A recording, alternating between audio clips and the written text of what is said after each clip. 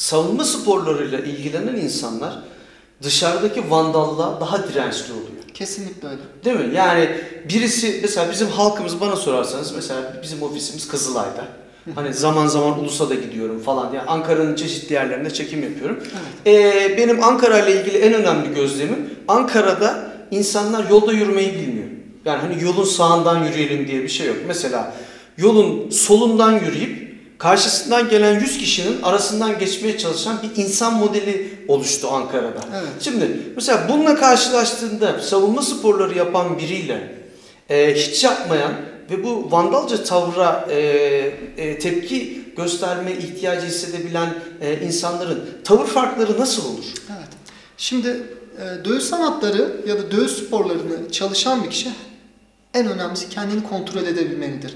Şimdi kontrol çok önemli. Neden?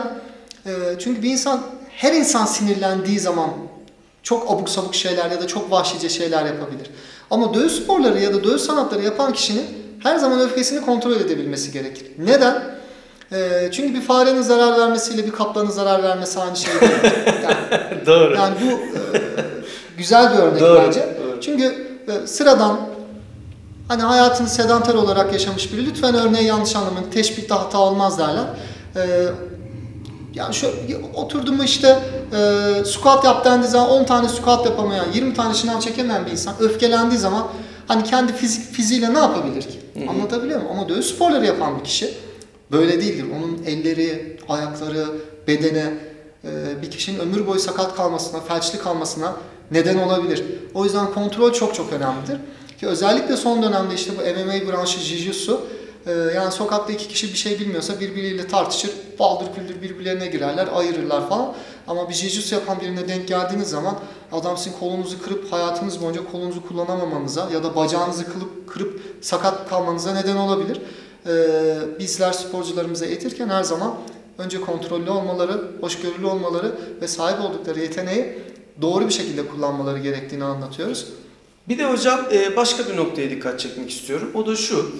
Hayatı boyunca hiçbir şekilde savunma sporu yapmamış. İşte nedir türevleri bildiğim? İşte bokstur temellerden, işte güreştir, kickboks olabilir, muay thai olabilir, jiu-jitsu olabilir, güreş olabilir, yani judo olabilir, e, tekvando olabilir.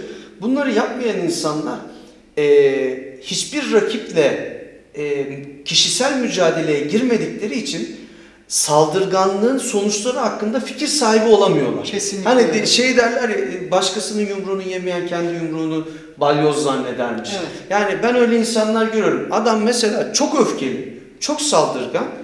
Ya sen hani bu kadar saldırgansın, karşındaki biri gelip sana bir şey dese ne yapacaksın dediğinde şöyle yaparım. Ama neye göre, kime göre? Nereden Tabii. biliyoruz bunu?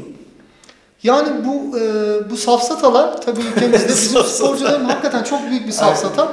Özellikle genç sporcularımız, dövüş sporları meraklıları, e, kendini fiziksel olarak geliştirmeye e, çalışan insanlar psikolojik bir şiddet bu. Mesela bir yerde oturuyorsunuz adam size şöyle bir bakıyor. işte iyi bir fitnessçısın ya da işte e, usta bir dövüşçüsün ya da dövüş sporlarına yeni başlamış birisin. Ya da ben diyor kavga etmem ki diyor ya çeker diyor vururum diyor. Bak ya da bıçaklarım diyor. Şimdi bunlar hep özgüven eksikliği. Tamam çok cahilce muhabbetler. Ve bunun sonuçları tabii adli sonuçları o anlık sinirin yıllara mal olabilir. Tabii bir de şöyle bir gerçek var. Ee, bir, bir kişide ne eksikse onu söyler. Yani o korkak bir adamdır. Ben her zaman diyorum. Biriyle bir mücadeleye gireceği zaman e, vurmaktan, kesmekten, bu tip şeylerden bahseden çünkü adaletsizlik oluyor. Yani karşı tarafta e, silah yok. Adam kendi bedeniyle dövüşüyor. Tek başına öbürü de diyor ki ben de silah kullanırım, bıçak kullanırım diyor. Bu çok korkakça, namertçe. Hatta hani kalleşçe bir durum yani. E zaten o adam e, erkeklik vasfını hani kaybetmiş oluyor. Oysa öyle bir söz söyleyerek. Çünkü e, biz bir Türk toplumuyuz. Hani hepimizin en elitimizden tutun Aynen. e, sokaklarda büyümüş tamam mı? E, ufak çocuklarımıza kadar peçeteli peçete satan hani çocuklarımıza Tabii. kadar e, hani hepimizin içinde bir delikanlılık ruhumuz vardır. Tabii. Türk insan dediği Geri adım atma şeyimiz Tabii, yok değil mi? Geri mücadele- vitesimiz tabii, yok. Geri vitesimiz yok yani. Mücadeleci çünkü atalarımız hep Türk denildiği zaman savaşçıyız. Ondan sonra dünya üzerinde çok büyük hani başarılarımız var. Ee, savaş galibiyetlerimiz var. Peki bunun Hepimizin pratikte bir var. faydası var mı? Yani böyleyiz böyleyiz de hadi yani hiçbir eğitimin yok çıktın herkese sa- sataşıyorsun. Hocam. Tabii o işte e, bize yani hani o delikanlılığa yakışmayan bir durum o. Evet. E, bize, ben mesela Rize'de büyüdüm. Yani e, Karadeniz'de işte o zaman çocukluğum orada geçti. Yani biz ufakken iki kişi birbiriyle böyle paldır küldür kavga ederken yani dışarıdan kimse karışamazdı. Abi getirmek bilmem ne falan böyle bir şey yoktu. Yani hani biz program spor amaçlı bir program. Kesinlikle hani böyle insanları kavga dövüş yap- e, Ama etmeye- gerçekler bu. me- mail etmiyoruz ama bu bir gerçek yani. Çünkü e, sohbetin başında da dedik yani insanımız bozulmaya başladı. Bakın e, bu çekimden e, bir önceki çekimimizde biz yine konuşmuştuk. Hani Avrupalılar, Batılılar hani ondan sonra mesela Ruslar kavga etmeyi çok seviyor. Evet. Zaten hani bu videoyu izleyen tatil beldelerinde işte Ruslarla atışmış mutlaka birkaç kişi denk gelir yani. Adamlar bayılıyor yani. Çok böyle e, sevecen yaklaşıyorlar. Fakat onların bir sınırı var. Geçtiğin anda hemen yumruklaşalım diyorlar. Fakat bizim insanımız da bizim insanımız da konuşmayı çok seviyor. Mesela ben Rio'da kaldım. Brezilyalılardı. Az konuşurlar yani. Dövüşmeyi çok seviyorlar.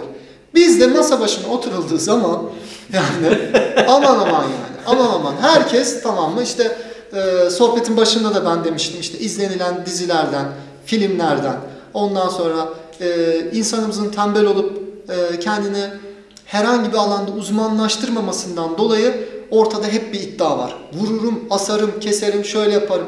Ben 20 senedir e, dövüş sanatları içerisinde biriyim. Biriyle oturduğum zaman eğer onun bilgisi ve yeteneği benden fazlaysa ona saygı gösteririm. Asla onunla bir yarışa girmem. Ve ondan ne alabileceğime bakarım. Ne, öğrebil ne öğrenebileceğime bakarım. Yani milli bir sporcu, milli bir boksörle oturduğum zaman yani yüzlerce boks maçı yapmış bir insandır o. Ve çok ciddi bir dövüş tecrübesi vardır. Burnu kırılmış, kaşı aç- açılmış, nefessiz kalmış. Yani günlerce kamp ortamında eziyet çekmiş. Birçok şeyin cefasını çekip bedel ödeyip oraya gelmiş biridir. Ben onu oturup da ya da aynı şey bir milli güreşçi için de olabilir ya da bir spor branşıyla uğraşan kişi için de olabilir. Ben onunla oturup da anlatabiliyor muyum? Yapmam yani. Ancak onunla yapacağım şey antrenman ortamına çıkarım, eldivenlerimizi giyeriz, ben yeteneklerimi gösteririm, o yeteneklerini gösterir. Ben iyiysem o benden bir şey öğrenir, o iyiyse ben ondan bir şey öğrenirim. Yani hani benim e, bakış açım budur. E, demişler ya akıllı insan her şeyden ders çıkarmaya çalışan kişidir, cahil insan da her şeyi bilen kişidir. Yani e, peki diyeceksiniz ki ya hocam Özgür hocam biz de izledik şimdi hakikaten dediğin gibi her oturduğumda bir vuran kıran sağa sola işte bıçak çekeceğini söyleyen böyle manyak agresif tipler var. E, ne yapmamız lazım? Ne yapmamız lazım hocam? Mevlana'nın dediği gibi cahil insan karşısında kitap gibi sessiz ol demiş. Anlatabiliyor muyum? Bazı insanlara tebessümle yaklaşmayı öğrenmek lazım. Kendinizi kontrol etmenizi bilmeniz lazım. Çünkü bu tip insanlar e, şimdi bir adam belirli bir hani çocuksa ufaksa hoş görülür ama zaten 30 yaşına 40 yaşına gel, gelip de bu tip muhabbetleri eden bir adam e, zaten bu yaşına kadar birileriyle belirli bir mücadeleye girmiştir. Bunu da yapamamıştır. Anlatabiliyor muyum? Yapamadığından dolayı da kötü tecrübeler elde etmiştir. O kendi egosunu tatmin etmek için e, böyle abuk sabuk muhabbetlere giriyordur. Yani böyle e, şiddet, kaba kuvvet anlatabiliyor muyum? Hani e, mafyamatik muhabbetler, bu tip sohbetler eden insanlardan uzak duralım arkadaşlar. Evet. Yani bu insanları da toplum içerisinde bu insanları dinleyerek bile prim vermeyelim. Çünkü bizim dinleyeceğimiz insanlar sporcular olsun, sanatçılar olsun. Eee kendini geliştirmeye çalışan insanlar olsun. İşine özen Tabii, gösteren işine insanlar. özen gösteren insanlar olsun. Nasıl ki gidiyorsunuz bir yerde mesela işte iş başvurusunda bulunacaksınız. Ne yapıyorlar? Alıyorlar CV'nize bir bakıyorlar. Background'ınızda neler var? Nerede çalıştınız? Ne yaptınız? Ya gerçekten e, biz de toplum olarak insanları seçelim sporcular olarak. Biriyle oturduğumuz zaman işi nedir? Ne iş yapar? Özü sözü doğru mu? Bunlara dikkat edelim arkadaşlar. Çünkü eğer bir alanda bir işte uzmanlaşmış insanlar bu tip böyle abuk sabuk saçma sapan muhabbetlere girmezler. Girmez. Yani bu tip muhabbetlere eden insanlara biraz egosuna dokundunuz mu daha da saçmalıyorlar. Ee, tabii ben yıllar içerisinde edindiğim tecrübeler bakıp "Ha, tabii ki dersin. Tamam. Hocam Zaten sen de çok bir zaman sakinsin. sonra Sen de çok Hayat sakinsin yani. verir. Özgür hocamız tabii alçak gönüllü davranıyor. Ee, danları var. Ee, 20 senedir spor e, savunma sporlarının içerisinde. Gerçekten de benim tanıdığım en sakin insanlardan, hani en tatlı dilli insanlardan da bir tanesidir. Teşekkür Ama ederim. tanımayan biri mesela bir de şu var şimdi ülkemizde e, savunma sporları da yayıldı. Aha. Şimdi bir insanın tipine bakarak teknik kapasitesini bilebiliyor muyuz? Bilemiyoruz. Mesela diyelim 56 kiloda arkadaşımız boksör, 54 kiloda. Ya dersin ki ya bu kürdanla bu kürdanı üflesem uçar. Halbuki seni öldürür o. İki saniye sürmez. Tabii. Yanlış mıyım? Aynen öyle. Mesela e, sana hiç e, başına geldi mi? Yani hiç dışarıda, e, sen- jiu-jitsu yapıyorsun, Evet. boks yapıyorsun, kickboks yaptın.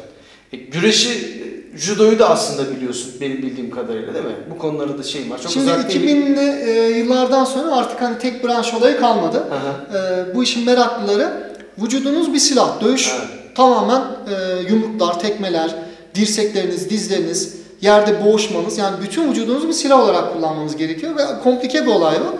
O yüzden hani e, bir dövüş sanat dövüş sanatında eğer uzmanlık seviyesine gelmek istiyorsanız bir yerde takılı kalmayacaksınız. Yani sadece yumruk demeyeceksiniz ya da sadece ayak demeyeceksiniz. Ben 35 yaşındayım. E, 14 yaşında başladım. 17-18 yaşında e, 14 yaşında Wing Chun'la başladım. E, 17-18 yaşlarıma doğru bakış açım değişti ve boksla e, Wing Chun'la beraber boks yapmaya devam ettim. Sonra Wing Chun'dan alacağım şeyleri aldığımı düşündüm. E, Thai box, Brezilyan Jiu-Jitsu ve BJJ'de şu anda mor kuşak seviyesindeyim. Thai box'ta da çok uzun yıllarda e, çok uzun yıllardır antrenman yapıyorum. Turnuvalara katıldım, müsabakalar yaptım. E, yurt dışındaki çok ünlü kulüplerde e, süperstar dövüşçülerle sparringler yaptım, dövüştüm. Yani hani tecrübeli olduğuma inanıyorum. Çok efendi bir insan görüyorum. Hı hı. tamam? Şimdi bu niteliklerini bilmeyen bir insan sana bulaşsa ne olur? Sopayı yer. Yani, Değil mi? Yani, e, tabii. evet. Çok güzel bir şekilde sopayı yer. Bir daha Ama sen onu Ee, sanırım böyle daha e, usturuplu yaparsın. Çünkü verebileceğin zararın çok iyi ölçümünü yapabilecek düzeydesin. Tabii. Ya şöyle bir şey var. Ee, şimdi bizler şimdi e, dövüş sporları yapan kişiler pozitif kişilerdir.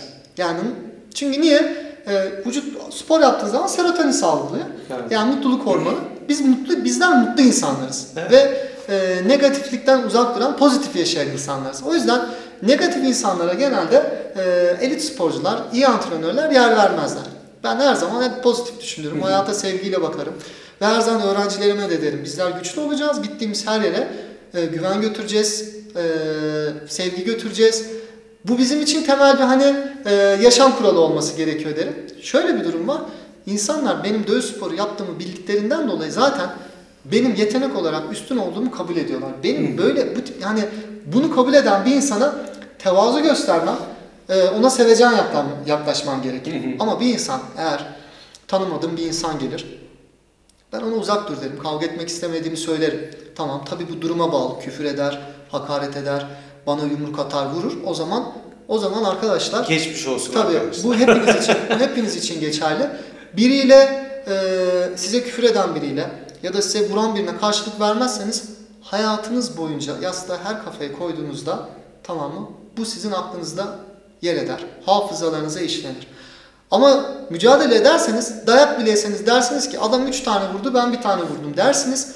Savaştığınızdan, mücadele ettiğinizden dolayı hayatınız boyunca özgüvenli bir şekilde yaşamaya devam edersiniz. Bunları ben demiyorum. Ee, bunları savaş sanatlarıyla alakalı kitapları okuduğunuz zaman ya da dünya ünlü dövüşçülerin e, savaş sanatları psikolojisi, işte mental e, eğitim dinlediğiniz zaman onlar da bunları söylüyorlar. Bu bir gerçek. Ee, insana saygı her şeyden önemlisi. Fakat dediğim gibi her zaman belirli bir çizginiz olması lazım. Ee, ben arkadaşlık ilişkilerimde de, sosyal hayatımda da saygıya çok önem gösteren biriyim. Ee, ve birçok insana da hani bunu öğrencilerime de bunu aşılıyorum. Bunları anlatıyorum. Ee, seviyeli olmanız gerekir. Mesela yabancılar ya böyle hani programda da durmadan diyorum ama işte batılaşmış, medeniyetleşmiş toplumlar denildiği zaman onlara geliyor yani hani e, başta adamların mesela belirli bir mesafesi vardır. O insanların hani şuradan yakınına girip konuşamazsın. Hemen rahatsız olur. Soğuk derler o insanlar. Aslında soğuk değildir. Onlar e, ciddi insanlardır. Yani bizim ülkemizde de tabii böyle yüzlerce binlerce insan var tabii.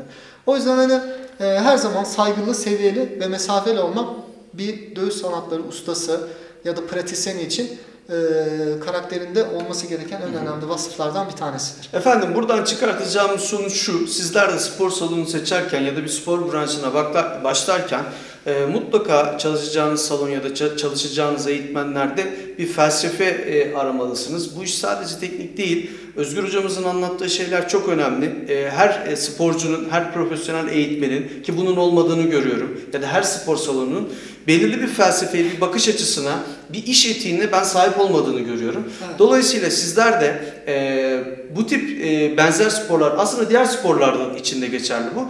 E, herhangi bir uzmanla çalışmayı tercih ettiğinizde lütfen bu e, felsefe kısmına, e, psikoloji kısmına e, vakıf kişilerden kurulu e, olduğunu, o spor salonu ya da bireyin bu düzeyde eğitim gördüğünü, bu e, gelişmiş gelişmişlik düzeyinde olduğuna lütfen e, sizler de dikkat edin. Çok büyük faydasını göreceksiniz diyorum. Özgür Hocam çok teşekkürler. Ben teşekkür ederim. Keyifli bir sohbet oldu. Evet. Her zaman olduğu gibi. E, efendim yeni bir bölümde görüşünceye kadar kendinize iyi bakın. Hoşçakalın. Hoşçakalın.